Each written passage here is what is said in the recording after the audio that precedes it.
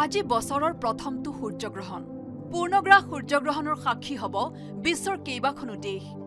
অৱশ্যে ভাৰতত দৃশ্যমান নহয় এই পূৰ্ণগ্ৰাস সূৰ্যগ্ৰহণ। মেক্সিকোৰ লগতে আমেৰিকাত দৃশ্যমান হ'ব পূৰ্ণগ্ৰাস সূৰ্যগ্ৰহণ। ভাৰতীয় সময় অনুসৰি সোমবাৰে নিশা ন বাজি বাৰ মিনিটত আৰম্ভ হ'ব সূৰ্যগ্ৰহণ। শেষ হ'ব শেষ নিশা দুই বাজি বাইছ মিনিটত। মুঠ সাত মিনিটৰ পূৰ্ণতা থাকিব।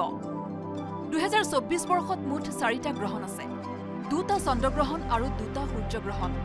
ইয়াৰে এটা চন্দ্ৰগ্ৰহণ ইতিমধ্যে হৈ গৈছে। আৰু প্ৰথমটো সূৰ্যগ্ৰহণ সোমবাৰে আঠ এপ্ৰিলত সংঘটিত হ'ব ভাৰতীয় সময়মতে নিশা ন বাজি বাৰ মিনিটৰ পৰা।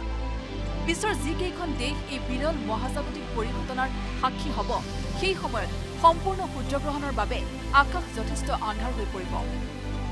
উল্লেখযোগ্য যে যদিও অসম অথবা ভাৰতত এই পূৰ্ণগ্ৰাস সূৰ্যগ্ৰহণৰ কোনো প্ৰভাৱ নাই তথাপিও জ্যোতিষীৰ মতে সূৰ্য দেৱতাই মানুহৰ ভাগ্যক যিহেতু প্ৰভাৱিত কৰে সেয়ে গ্ৰহণৰ সময়ত প্ৰভাৱিত হ'ব পাঁচ ৰাশি মেষ মিথুন সিংহ কন্যা আৰু ধনু ৰাশি এই ৰাশিৰ লোকসকলৰ ওপৰত পৰিব ইতিবাচক প্ৰভাৱ। আনহাতে গ্ৰহণৰ সময়ত খাদ্য খোৱাৰ পৰা বিৰত থাকিব লাগে।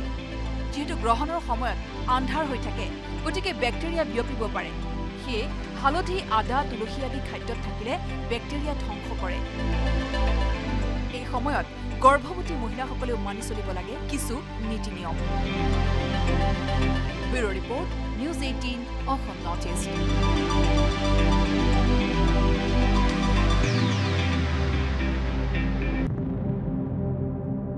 আজি বছৰৰ প্ৰথমটো সূৰ্যগ্ৰহণ।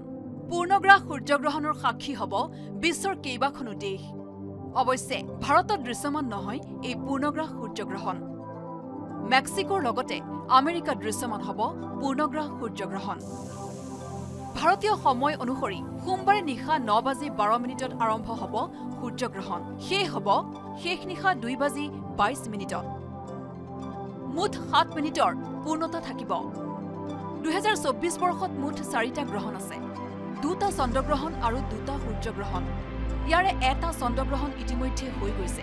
আৰু প্ৰথমটো সূৰ্যগ্ৰহণ সোমবাৰে আঠ এপ্ৰিলত সংঘটিত হ'ব ভাৰতীয় সময়মতে নিশা ন বাজি বাৰ মিনিটৰ পৰা। বিশ্বৰ যিকেইখন দেশ এই বিৰল মহাজাগতিক পৰিঘটনাৰ সাক্ষী হ'ব সেই সময়ত সম্পূৰ্ণ সূৰ্যগ্ৰহণৰ বাবে আকাশ যথেষ্ট আন্ধাৰ হৈ পৰিব। উল্লেখযোগ্য যে যদিও অসম অথবা ভাৰতত এই পূৰ্ণগ্ৰাস সূৰ্যগ্ৰহণৰ কোনো প্ৰভাৱ নাই তথাপিও জ্যোতিষীৰ মতে সূৰ্য দেৱতাই মানুহৰ ভাগ্যক যিহেতু প্ৰভাৱিত কৰে সেয়ে গ্ৰহণৰ সময়ত প্ৰভাৱিত হ'ব পাঁচ ৰাশি। মেষ মিথুন সিংহ কন্যা আৰু ধনু ৰাশি এই ৰাশিৰ লোকসকলৰ ওপৰত পৰিব ইতিবাচক প্ৰভাৱ। আনহাতে গ্ৰহণৰ সময়ত খাদ্য খোৱাৰ পৰা বিৰত থাকিব লাগে। যিহেতু গ্ৰহণৰ সময়ত আন্ধাৰ হৈ থাকে গতিকে বেক্টেৰিয়া বিয়পিব পাৰে। সেয়ে হালধি আদা তুলসী আদি খাদ্যত থাকিলে বেক্টেৰিয়া ধ্বংস কৰে। সময়ত গৰ্ভৱতী মহিলাসকলেও মানি চলিব লাগে কিছু নীতি নিয়ম। Bureau' report news eighteen Assam north east.